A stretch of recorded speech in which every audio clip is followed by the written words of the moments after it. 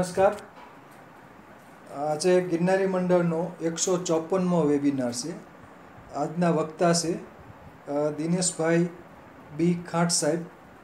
જેઓ ગુજરાત આયુર્વેદ યુનિવર્સિટી જામનગરમાં retired research assistant તરીકે કાર્યરત હતા. જેઓ ઓગણીસો પંચ્યાસીથી બે હજાર પંદર સુધી જામનગર યુનિવર્સિટીમાં, આયુર્વેદ યુનિવર્સિટીમાં કાર્યરત હતા. તેમણે ટીચિંગ પ્રેક્ટિકલ થિસિસ સંશોધન કાર્ય એનાલિસિસ ઔષધોનું એનાલિસિસ અનેક સંશોધન પત્રો એટલે કે રિસર્ચ પેપર્સ પ્રકાશિત કરેલ છે. અને એમનો એનાલિસિસ ઉપર સારું એવું નોલેજ છે. તો હું શ્રી દિનેશભાઈ ખાંટ સાહેબને વિનંતી કરું કે તેઓ હવે પોતાનું વક્તવ્ય શરૂ કરી શકે છે. નમસ્કાર, સર.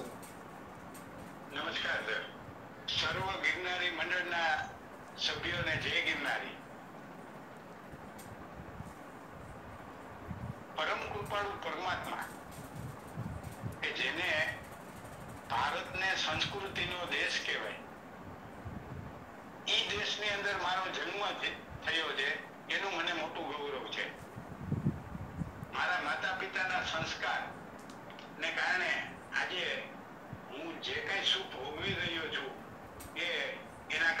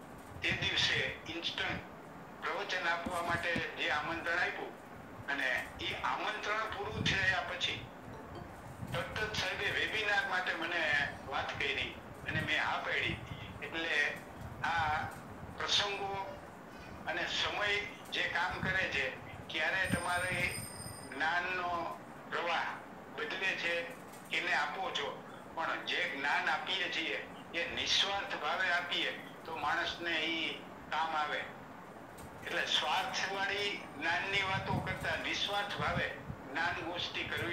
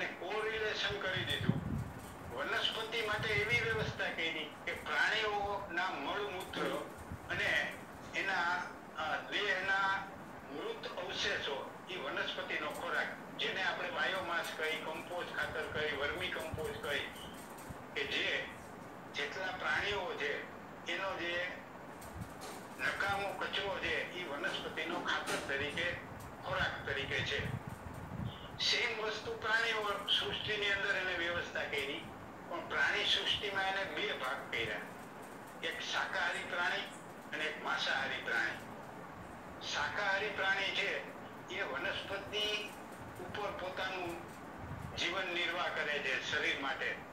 એનો ખોરાક તરીકે ઉપયોગ કરે છે. ટકી રહેવા માટે જે કંઈ જરૂરિયાત છે એ વનસ્પતિમાંથી એને પૂરી પડે છે. જેમાં આપણે પ્રોટીન, ફેટ, કાર્બોહાઈડ્રેટ બધું મળે.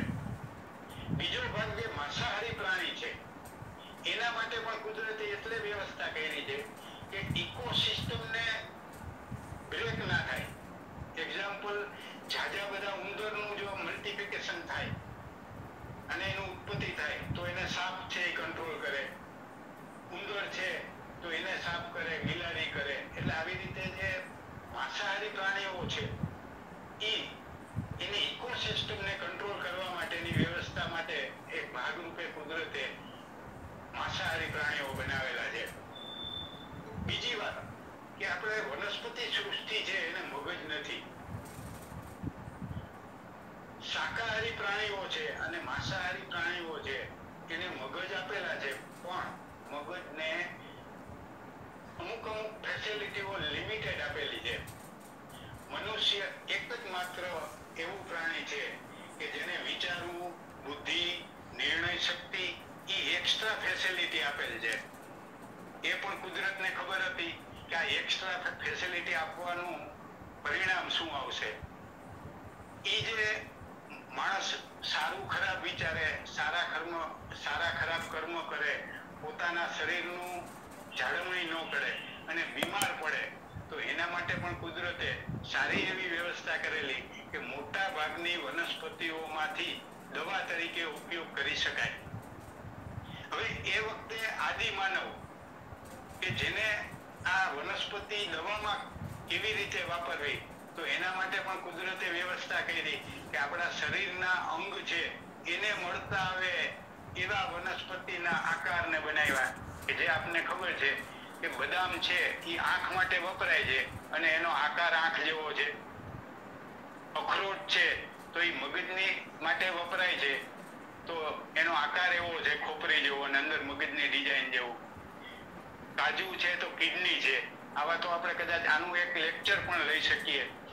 બીજું કે આપણા શરીરના જે કાંઈ કેમિકલ જોઈએ, જેમ કે આપણે આલ્ડીહાઇડ કીટોન કાર્બોહાઈડ્રેટ એ બધા છે તો એ વનસ્પતિના કલર ઉપરથી ખબર પડે. એ પણ એને વ્યવસ્થા કરી. એટલે કુદરતને સમજવામાં આપણે જ્યારથી ભૂલ કરી, ત્યારથી રોગનું પ્રમાણ વધેલ છે.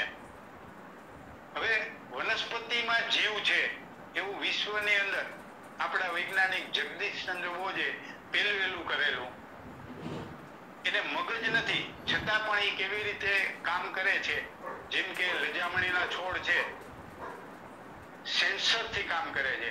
અને તમે અનુભવ્યું હશે, જોયું હશે કે જે એક શાખાવાળી વનસ્પતિઓ છે, જેમ કે નાળિયેરી છે, પામ છે, સોપારી છે, એ બધા ઝાડને તમે પાંચ પાંચ ફૂટને અંતરે જો વાવેતર હોય ઘણી જગ્યાએ જોવા મળે, તો બે બાજુની નાળિયેરી બે બાજુ નમી જાય.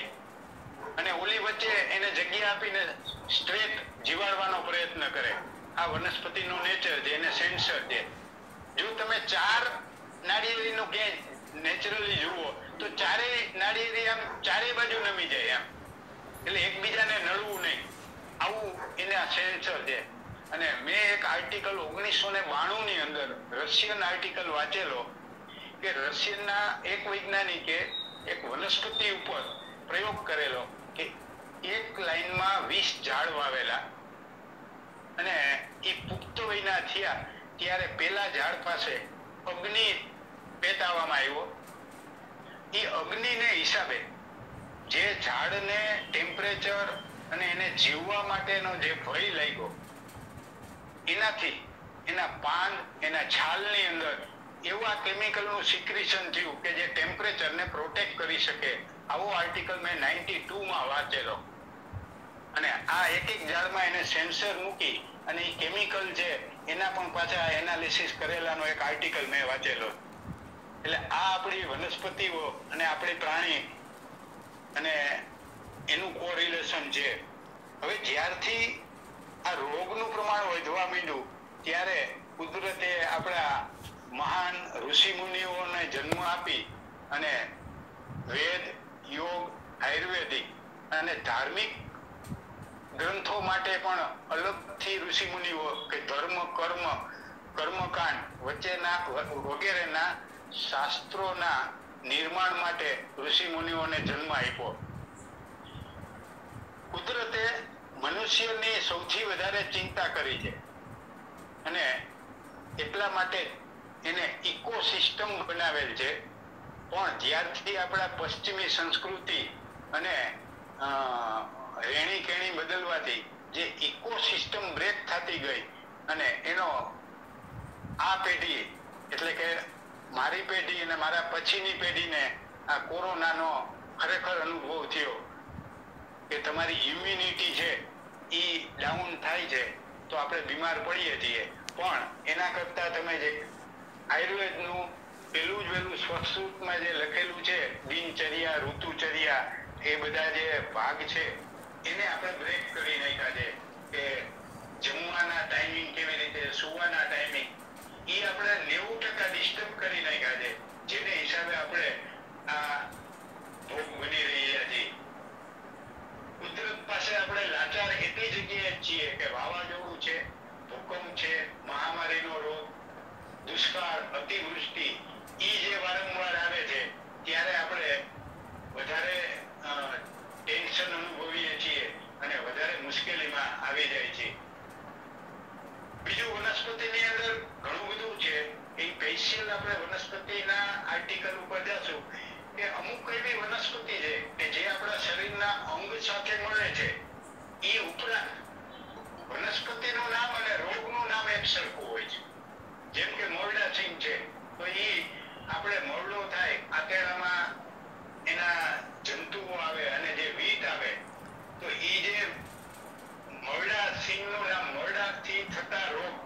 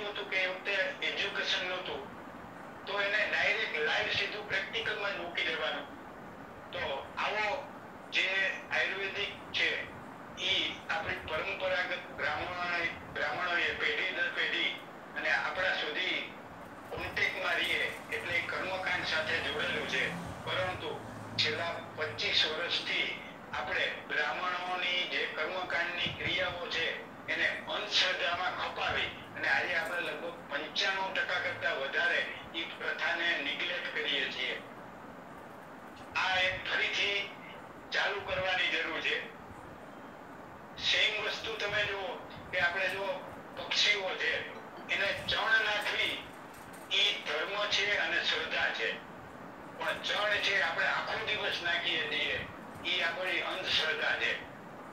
એટલા માટે કે ચણ છે, એ સવારમાં જ નાખવાની હોય, એ ચબૂતરે જ નાખવાની હોય.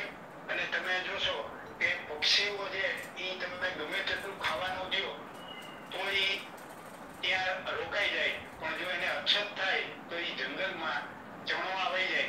પણ છસો કિલોમીટર વાવાઝોડાની આગાહી કરવામાં તાકાત પક્ષીઓમાં છે. એટલે પેલાના જમાનામાં ચબૂતરો હતો ત્યાં ઝાડ હતા, એ ઝાડ બધા પિતૃ પરિવારના હતા, એના ઉપર આપણે થોડુંક હજી બોલશું. તો એ ઝાડ છે, એમાં પક્ષીઓ રહે ખાવાનું આપો, પાણી આપો, તો ક્યાંય જાય નહીં.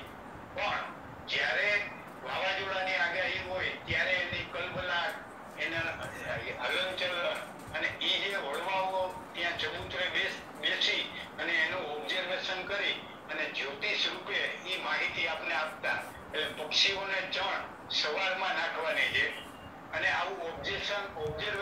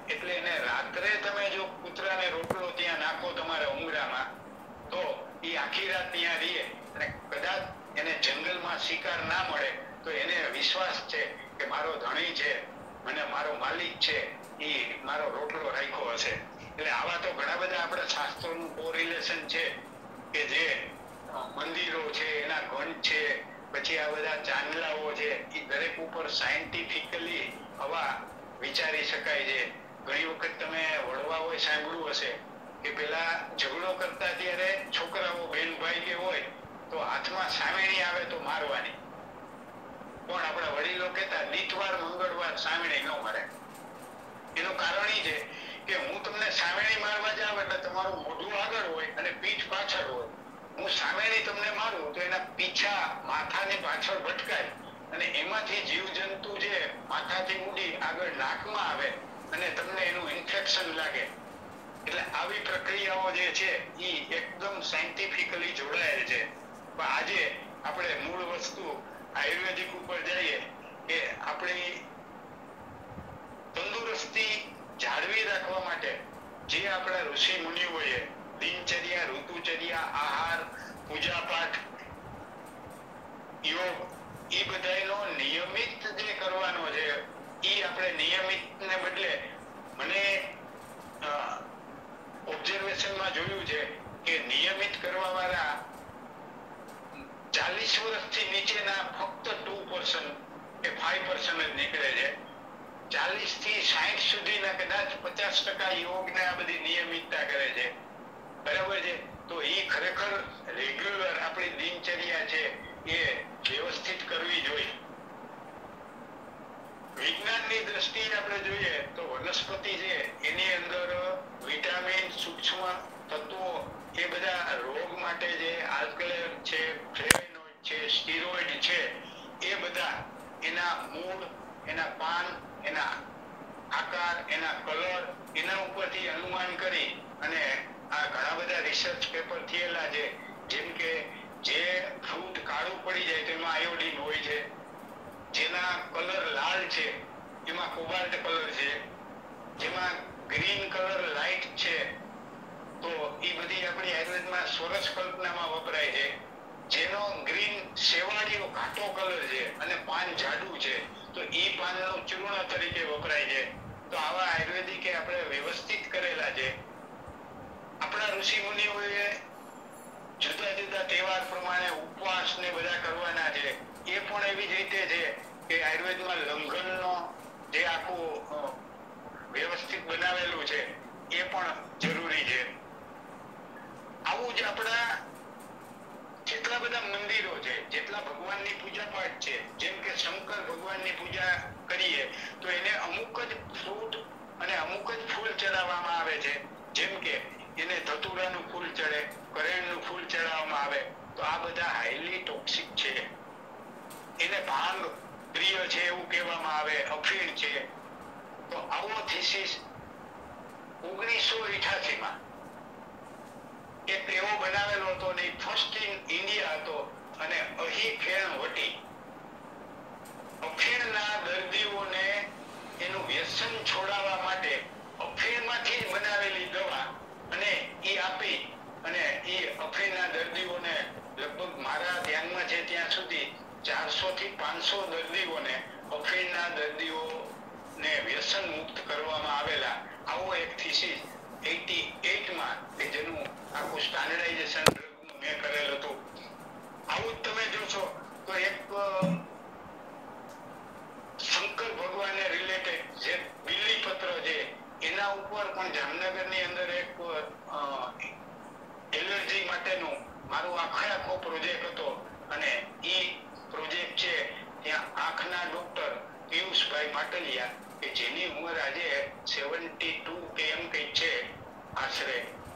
હવે એ આંખના ડોક્ટર હતા અને તેના પાસે ત્રીસક દર્દીઓ એવા હતા કે આંખની ઉપર ખંજવાળ આવે અને ખંજવાળ એટલે આંખ સોજી જાય. એટલે દર્દીને એમ થાય કે આંખની બીમારી છે અને સાહેબ એને સ્કિન ડિઝીઝની અંદર સારવાર કરતા અને મટી જતું. પણ દર છ મહિને વર્ષ દિવસે એ રિપીટ થાય.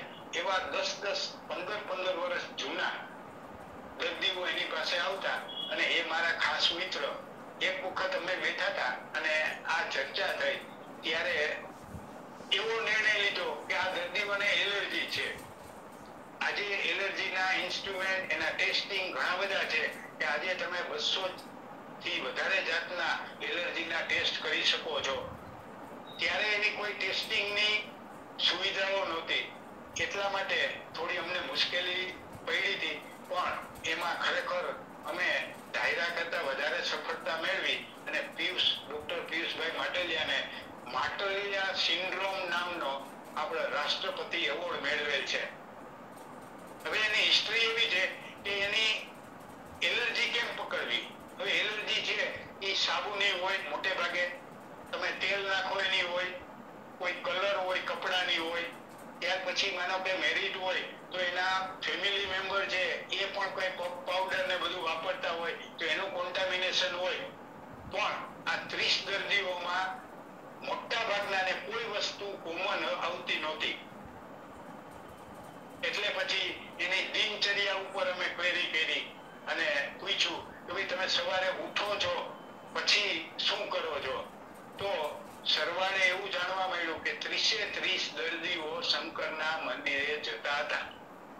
ત્યારે મને લાઈટ થઈ કે આ શંકરના મંદિરમાંથી કંઈક કોન્ટામિનેશન થાય છે. એટલે ત્યાંની વિધિ વ્યવસ્થિત પૂછી. કારણ કે ઘણા આચમન લેતા હોય છે. બરાબર છે? તો ઘણા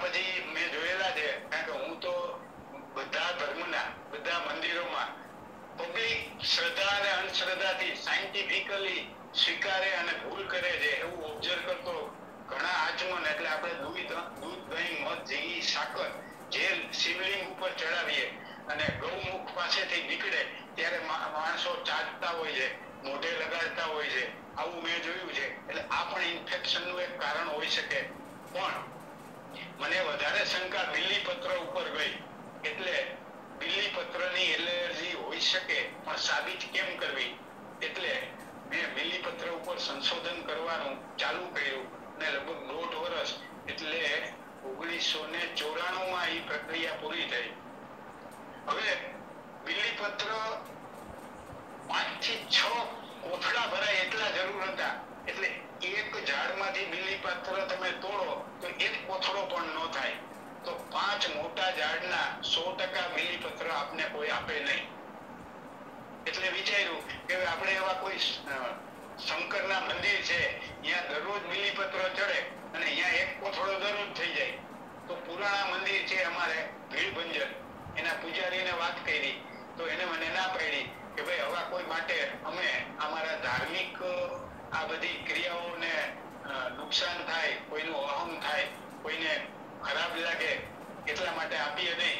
એટલે એને રિક્વેસ્ટ કરી કે એવું સંશોધન કરવા માટે જરૂરી છે, તો અમને હેલ્પ કરી અને હું દરરોજ એક કોથળો લઈ આવતો, દસ દિવસ સુધી એ બિલીપત્રનો કોથળો. પણ હવે પ્રોબ્લેમ એ હતો કે એ બિલીપત્રની સાથે દહીં, દૂધ, મધ, ઘી, સાકર અને બધા ફૂલનું મિક્સચર હોય, એટલે ઘરે લઈ આવી એક એક પાન નળ નીચે ધોઈ, એને સૂકવી અને એનો પાવડર કરી અને એમાંથી મને પાંચ એમએલ એક કોથળાએ એક એમએલ જેટલું ઓઇલ વોલેટાઇલ ઓઇલ નીકળ, નીકળ્યું હતું. એ ઓઇલ ભરી અને માટલિયા સાહેબને આપેલ. અને માટલિયા સાહેબે જે તાજણી હોય એને ઊંધી માથાવાળી અંદર બોળી અને હાથ ઉપર દર્દીને ટીપું મૂકી અને બેન્ડેજ બાંધ્યું તો ટ્વેન્ટી ફોર અવર્સમાં ડર્મેટાઇટિસ ડેવલપ થયું હતું. આવું એક રિસર્ચ પેપર નાઇન્ટી ફોરમાં મારું બનાવેલ હતું. આવા ઘણા બધા થીસીસ બનાવેલા છે અને બે હજાર ચારમાં મારું એક થીસીસ હતો કે આયુર્વેદની અંદર સમાનાર્થી શબ્દો ઘણા બધા. જેમ કે કલક એટલે સોનું થાય, કલક એટલે ચતુરો થાય. તો એક ચામડીના રોગ ઉપર જંખનાબેન તાર, જે અત્યારે મોરેશિયસ છે, અને એના પીએચડી નું રિસર્ચનું કામ હતું મારી પાસે. હવે એ થીસીસ નો ટાઇટલ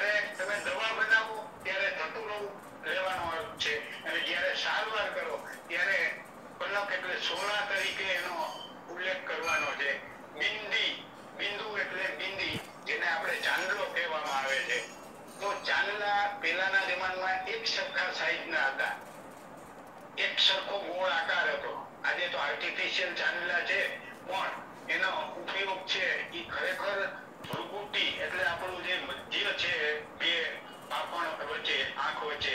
અને એ કોન્સન્ટ્રેશન નો જે કેન્દ્ર છે, એના ઉપર ચાંદલો કરવાનું કારણ પણ આજે ચાંદલા આર્ટિફિશિયલ થયા છે પણ બિંદુ એટલે એ ચાંદલાનો જે બિંદુ અથવા તમારું પાણીનું એક ટીપું પડે અને જે પહોળાઈ થાય એ બિંદુ જેવો આકાર થાય તો સોના જેવો કલર હોય અને બિંદુ જેવડી સાઈઝ અને એવો આકાર હોય એવા ચામડીના ચાઠા હોય એની અંદર કનક બિંદુઆ રિસ્ટનું રિઝલ્ટ સારું મળે છે અને એ આપણા સૌરાષ્ટ્રની અંદર ખાસ કરીને કરોડિયા તરીકે અ, પ્રચલિત છે અને એ ગાલથી કાન બાજુ ગળાની સાઈડમાં એ કરોડિયા છે એ વધારેમાં વધારે રોગ થાય છે અને એ એને પચીસ દર્દીઓમાં ટ્રાયલ કરેલી અને એમાંથી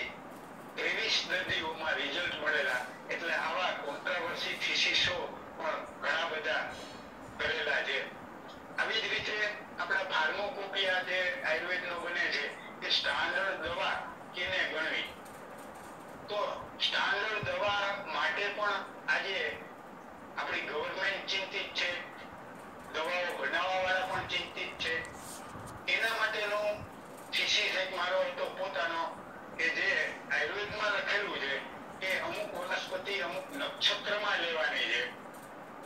અમુક ઋતુમાં લેવાની છે, અમુક તિથિ પ્રમાણે લેવાની છે. તો આપણે આયુર્વેદમાં પણ લખેલું છે કે કોઈ પણ વનસ્પતિને તોડો ત્યારે એને આહવાન આપવાનું છે, કારણ કે એનામાં જીવ છે. તો એ આહવાન આપવાનું છે, તો એ પર્ટિક્યુલર નક્ષત્રમાં લેવાનું છે. તો એવું એક મારું પેપર હતું કે બાર મહિના સુધી વનસ્પતિને એ દર મહિને એમાંથી હાર્વેસ્ટ કરવાની આહવાન આપીને અને હાર્વેસ્ટ કર્યા પછી એને સૂકવી, એનું તરત જ એના એનાલિસિસ કરી અને એનો રિપોર્ટ તરત જ કરી નાખવાનો. આવું દર મહિનાના પહેલા અઠવાડિયામાં કરી અને એવા બાર સેમ્પલ હતા. ત્યારે એ કન્ક્લુઝન નીકળ્યું હતું કે ભાઈ અત્યારે આપણે બારે મહિના એ વનસ્પતિ વાપરીએ છીએ, પણ સાચું રિઝલ્ટ એનું સપ્ટેમ્બરમાં હોય. એટલે આપણે જે કઈ વનસ્પતિ છે, એમાં જે રોગને કંટ્રોલ કરવા કે નાશ કરવા માટેના જે કેમિકલ છે, એ કેમિકલ ક્યારે પૂરેપૂરા હોય, ત્યારે એ ઉપયોગી વધારે થાય. જેમ કે આપણે ખબર છે કે શેરડીનો રસ તમે બે ફૂટનો એનો દાંડો થાય તો પણ નીકળે, પણ એ પરિપક્વ ન થાય. એના માટે પણ તમે જુઓ કે આપણા દિવાળી પછી તુલસી વિવાહ થાય અને ત્યારે તુલસી ક્યારે આપણે શેરડીનું સાઠો મૂકી મુહૂર્ત કરી, પછી શેરડીને હાર્વેસ્ટ કરવાની છે, આ પણ આપણા એક વિધિની અંદર વ્યવસ્થિત ગોઠવવામાં આવેલ છે. તો આપણા જે ઋષિ મુનિઓ છે, આપણા આયુર્વેદની પરંપરાઓ છે, એનું કોરિલેશન જરૂરી છે. અને એ જે વસ્તુ છે, એને આપણે કોઈ સ્ટાન્ડર્ડાઇઝેશન કરીએ, એની અંદર પણ એ કોરિલેશનનો સંબંધ બનાવવો જરૂરી છે. આ જે માટે સાહેબ, આયુર્વેદિક દવાઓ ઓળખવા વાળા ઓછા છે, એમ શુદ્ધ આયુર્વેદિક બનાવવા વાળા ઓછા છે, અને જે ડોક્ટરો છે, એને પ્રેક્ટિસ કરવામાં મુશ્કેલી પડે છે, તો એના માટે થઈને આ આપણે થોડું વ્યવસ્થિત પ્લાનિંગ કરી અને આ જે હોબી છે આપણો ગિરનારી મંડળનો, એની અંદર આ એક નવું ચેપ્ટર આપણે એડ કરી અને વારંવાર જો પબ્લિક સુધી પહોંચાડીએ, તો ઘણું બધું ઉપયોગી થશે. કારણ કે આયુર્વેદ મારું ટાઇટલ એટલે જ હતું આયુર્વેદ ઔષધિ અને સારવાર. તો આયુર્વેદિક માટે આપણે પાયાની વસ્તુ ઉપર મહેનત ઘણી બધી કરી રહ્યા કે વનસ્પતિને ઓળખવી. પણ એ જ વનસ્પતિને હાર્વેસ્ટ ક્યારે કરવી? એનો સંગ્રહ ક્યારે કરવો? એની લાઈફ સાયકલ કેટલી? કે ભાઈ તમે આજે કોઈ વનસ્પતિના પાન કે મૂળ લીધા, તો એની લાઈફ સ્ટાઇલ કેટલી? એ જે દવા બનાવીએ, તો એ દવા બનાવ્યા પછી કેટલી? એને સેલ્ફ લાઈફ કહેવાય. તો આ બધાનો સમન્વય થાય. તો મને લાગે છે કે હજી પણ આપણા ડોક્ટરો જે પ્રેક્ટિસ કરે છે, એને રિઝલ્ટ મેળવવામાં આપણે ઘણા બધા મદદરૂપ થઈ શકીએ. નેક્સ્ટ લેક્ચર હવે ઇન્ડિવિડ્યુઅલ જે બલદાણિયા સાહેબે મને સ્ટાર્ટિંગમાં કીધું હતું કે તમે તો રિસર્ચના માસ્ટર છો, તો આજે ટાઇટલ આવું કેમ? એટલે આજે મેં આ બ્રીફ માટે થઈ અને મેં આપ્યું હતું. પણ આપણે આશા રાખીએ કે ટૂંક સમયમાં બલદાણિયા સાહેબની માગણીને ધ્યાનમાં રાખી અને પ્યોર આપણે રિસર્ચ ઉપર વધારે ધ્યાન આપીએ. કારણ કે વનસ્પતિને ઓળખવા વાળા આપણા ઘણા બધા ભાઈઓ અત્યારે તૈયાર થઈ ગયા છે. અને ઈ આપણે કરવા વાળા ઘણા બધા છે. એટલે જ્ઞાન ગોષ્ઠીમાં ઈ ઘણા બધા મદદરૂપ થશે. પણ આ જે રિસર્ચ ફિલ્ડ છે, ઈ રોગ અને આયુર્વેદિક વચ્ચેનું કોરિલેશન માટે ઈ કદાચ આપણે આની અંદર થોડો સમય લાગે, પણ વ્યવસ્થિત આપણે એને પણ ભેગા લેતા જાય. જેથી કરીને આપણે આરોગ્યને વધારે વધારે આપણે મદદરૂપ કરી શકીએ. તો આજેનું હું મારું વક્તવ્ય પૂરું કરું છું. અને કોઈને પ્રશ્નોત્તરી હોય તો આપણે ચાલુ રાખીએ. સર નમસ્કાર. નમસ્કાર. હાજી સાહેબ આપણે અમ, હમણાં જ ભેગા થયા પણ માફ કરજો સાહેબ હું આપનો એક ભૂલ સુધારી દઉં. આ માટલિયા સાહેબ મતલબ મિતલિયા સાહેબ ને? નહીં પિયુષ માટલિયા આંખના સર્જન જામનગર. અચ્છા ઓકે ઓકે બસ એ જ મને કન્ફ્યુઝન એટલા માટે મેં ના ના ના ના મા- મા- પિયુષભાઈ માટલિયા આંખના સર્જન કે જેની ઉપર છે- એ ઉંમર 72 છે. એટલે હવે રિટાયર થઈ ગયા. અને એન- આંખના 30 દર્દીઓનું આ એલર્જી માટેનો એક આ રિસર્ચ કર્યું હતું. એટલે જામનગરમાં જૂની દીપક જ કહેવાય. ગ્રેન્ડ માર્કેટની સામે ત્યાં એનું દવાખાનું છે એટલે અત્યારે ફક્ત ઓપીડી જ કરે છે. એ પણ હાફ દિવસ એમ. કારણ કે રિટાયર લાઈફ છે. ડોક્ટર પિયુષ માટલિયા. એનો પછી નંબર હું આપની પાસેથી લઈ લઈશ કાંઈ વાંધો નહીં છે અને બીજું હાજી અને ત્યારે મારે જુનાગઢ આપણે મળ્યા ને ત્યારે મારે એક ચર્ચા કરી હતી પછી ટાઈમ ના હિસાબે આપણે વાત નથી થઈ. અત્યારે મારે એક સંશોધન ચાલુ છે. આપણે આ બધા નૈવેદ્ય નિવેદ બનાવે છે. આપણે આઠમના નિવેદ કરે છે. હિન્દુ માત્ર હા બરાબર છે. બધા માતાજીના નિવેદ બનાવે છે. એમાં બધા અલગ અલગ નિવેદ કોઈ કોઈના બરાબર તો એના એના ઉપર મારે અત્યારે આપણે આરોગ્ય તો શરીરના કયા અંગ ઉપર એની અસર થાય છે અને એ આપણને શું ફાયદો થાય છે, એવી રોગપ્રતિકારક મળે છે ટોટલ એનું રિસર્ચ અત્યારે ચાલુ છે અને એમાં મને મિતલિયા સાહેબનો ઘણો બધો સપોર્ટ છે, એ ઘણી બધી માહિતી પૂરી પાડે છે. ના ના, બરાબર છે. એટલે મારા એવી રીતે બાળકો માટે આયુર્વેદિક બિસ્કિટ નાઇન્ટી સિક્સમાં બનાવેલા હતા. પછી લાડુ. કે જે માનો કે ડિલિવરી વખતે તમારા શરીરની અંદર વિટામિન ને પ્રોટીનની ડેફિશિયન્સી થાય, તો પ્રેગ્નન્ટ લેડી હોય, એને માટે થાય, તો એના માટેના એક લાડુનું રિસર્ચ પેપર હતું અને એનું પણ એનાલિસિસ કરેલું છે. એટલે આવા ઘણા બધા થીસીસ લગભગ મેં મારા ત્રીસ વર્ષ દરમિયાન મિનિમમ પાંચસો થીસીસોમાં રિસર્ચનું ઇન્વોલ્વમેન્ટ ડાયરેક્ટ મારું છે. તો હું આપની મને જરૂર પડશે એટલે આપની પણ હું સહાયતા લઈશ. વેલકમ હમણાંનો જ તમે છાપામાં વાંચ્યું હોય તો બરોડાની અંદર એક ભાઈ ખીચડી. હા હા હા હા right. બ્રહ્મચર્ય. હા ગરમ ખીચડી ને? હા હા હવે બ્રહ્મચર્ય. ઈ ઈ જગદીશભાઈ અને ઈ જગદીશભાઈ ને મારું હું તમને મોબાઈલ નંબર તમને આપી ને મારું નામ આપીને કહેજો.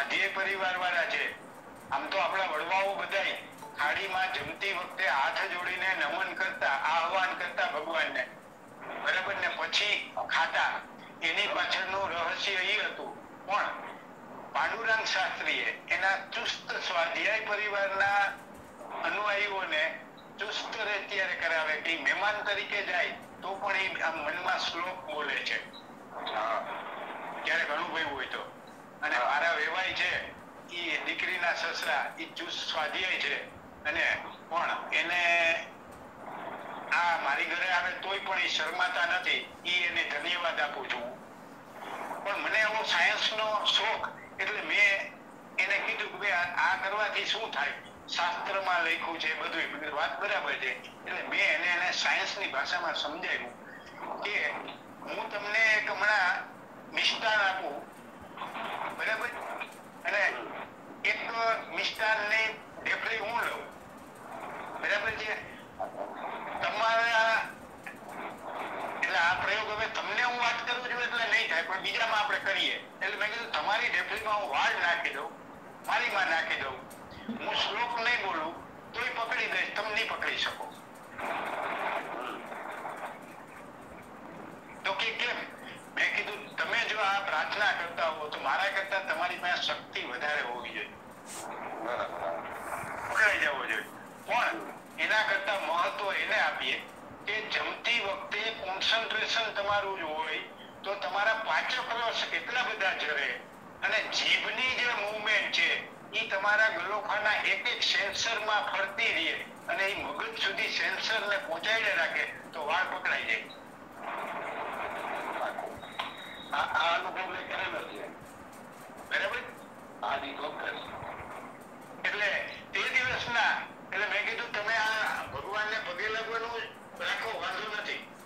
પણ તમે આ પાંચ વર્ષ જડે એની એકાગ્રતા રાખવાનું વધારે રાખશો તો તમને વધારે આના કરતાંય પચવાની શક્તિ વધી જશે એમ. એટલે આ એસ્ટ્રોલોજી કયો કે જે કયો એ પણ આવા એક આવા કોરિલેશન નો મને વર્ષોથી શોખ છે કે આપણું જ્યોતિષ શું છે? આયુર્વેદ શું છે અને આપણી પરંપરાઓ શું છે અને આપણે શું કરી રહ્યા છીએ, એનું કોરિલેશન રાખવું એ સાયન્સ છે. એટલે હંમેશા ધર્મ છે, એને તમે સાયન્સની દ્રષ્ટિથી જુઓ. શ્રદ્ધા કે અંધશ્રદ્ધાના વિવાદમાં મૂકી દો મૂકી દેવાનું એટલે અત્યારે. બોલો બોલો. ના ના, એટલે હું છે ને, હું કર્મકાંડ જ કરું છું ઓલરેડી બરાબર છે? પણ સાથે સાથે તમે જે પ્રમાણે કહો છો ને પ્રમાણે મને આવો સાયન્સ ને બહુ સંશોધન નો બહુ પણ હવે આમ નહીં હવે આપણા જે બધા ભાઈઓ છે કોઈને બરાબર એટલે આપણે જે ચર્ચા કરવી છે કદાચ વિષય બહાર કરીએ તો વાંધો નહીં ના ના બ- ચાલુ રાખો ચર્ચા વાંધો નહીં. કાંઈ વાંધો નહીં. હવે બીજું. એક એક પોઈન્ટ તમને આપી દઉં. કાંઈ વાંધો નહીં. એટલે આમાં આજે ચર્ચામાં પ્રશ્નો તમારા જવાબ મારા છે. પણ છતાં પણ એક બધાને જાણવા મળે એવી વાત છે. એટલે હું તમને પ્રશ્ન ને જવાબ બે હું કરીશ. દાખલા તરીકે આપણે મૃતક પાછળની જે ક્રિયાઓ છે જો કે એનાય તમારે દશક વેબિનાર થઈ શકે એમ છે સાયન્ટિફિકલી પણ હું કોમન આપું. કે આપણે મૃતક પાછળ એના ઘરના જે છોકરાઓ છે, એનું મુંડન શા માટે કરીએ? ખોટું ન લગાડતા, હું પરીક્ષા નથી કરતો, પણ પ્રશ્ન હું પૂછી અને જવાબે હું જ આપીશ. તમને આવડે કે ના આવડે એવી પરીક્ષા નથી, પણ આ આમ જનતાને આપણી સંસ્કૃતિ, ભારતની છે એ પાછી સાચવતા થાય એ હેતુથી આપણે ચર્ચા કરીએ એક એક એવું છે સાહેબ સંશોધન કર્યું છે ને એમાં મેં એવું માર્ક કર્યું છે કે કોઈ પણ વ્યક્તિ મૃત્યુ થયેલા હોય સાથે સૂતક રાખવામાં આવે, દસ દિવસ, બાર દિવસ સૂતક સૂતક ઘરે નહીં. તો એ અમે જે વ્યક્તિ મૃત્યુ પામ્યા છે એને કેવો રોગ હતો એ આપણને ખબર આવેલી એ રોગ બરાબર. બીજાને ખબર ન લાગે. એટલા માટે રાખતા. બરાબર છે. પછી એના જે બી જંતુઓ જીવજંતુઓ આ ઘરના સભ્યોના વાળ સુધીમાં પણ જો રહી ગયા હોય, ચોટી ગયા હોય એના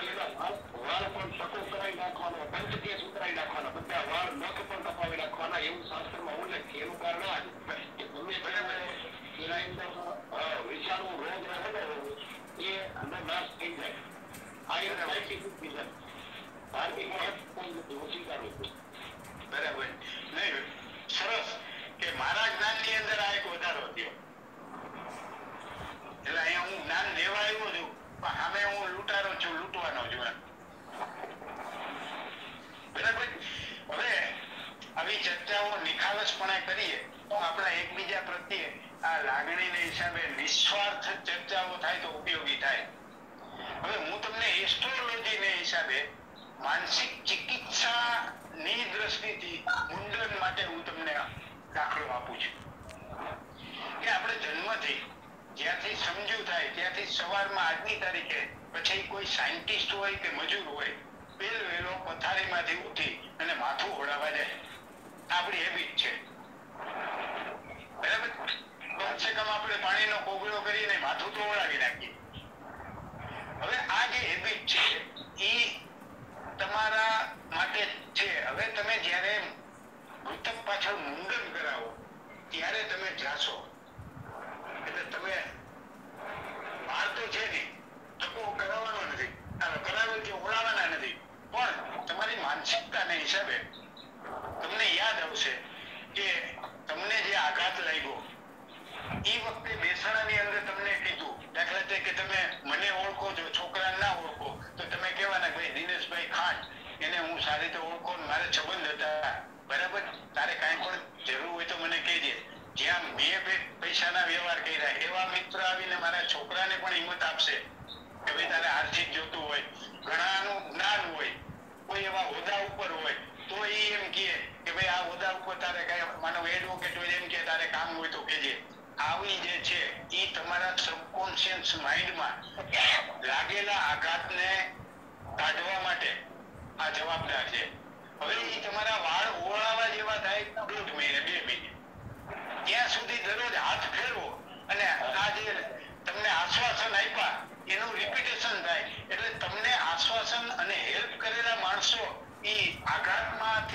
જગ્યા કરી અને ત્યાં બેસી જાય. એટલે આખી જિંદગી આઘાત નીકળી જાવ આઘાતમાંથી, અને તમે હિંમત આવી જાય. આ મને જાણવા મળ્યું સાહેબ આપની પાસેથી. આ વસ્તુ આ વસ્તુ મને જાણવા મળી આપની પાસેથી કે આ એટલે આને આ તમે કીધું ઈ પણ ખરું પણ આ એટલું મહત્વનું છે. પછી આને આને પર ઘણું બધું છે. દાખલા તરીકે તમે સિંધી લોકો છે એમાં મુંડન કર્યા પછી સ્મશાન યાત્રા કાઢવામાં આવે. એનું કારણ એ છે કે એ લોકો ફેમિલીમાં વધારે કે એક રોટલે ખાવાવાળા ત્રણ ચાર ભાઈઓ હોય, એને ત્રણ ત્રણ દીકરા એટલે બાર જણા હોય, તો બારમાંથી કેના બાપા ગુજરી ગયા? હવે જીવતા હોય એનો ખરખરો થઈ જાય તો? એટલે ઈ જેટલા મોટા ભાઈ ગુજરી જાય ને એને ત્રણ દીકરા હોય ત્રણેયનું મુંડન કરાવે, એટલે આડોશી પાડોશી જે છોકરાને નથી ઓળખતા, એના પાછળ ઈ ત્યાં ખરખરો કરી શકે. મિસઅન્ડરસ્ટેન્ડિંગ ન થાય. બરાબર. સામાજિક દ્રષ્ટિએ બરાબર છે.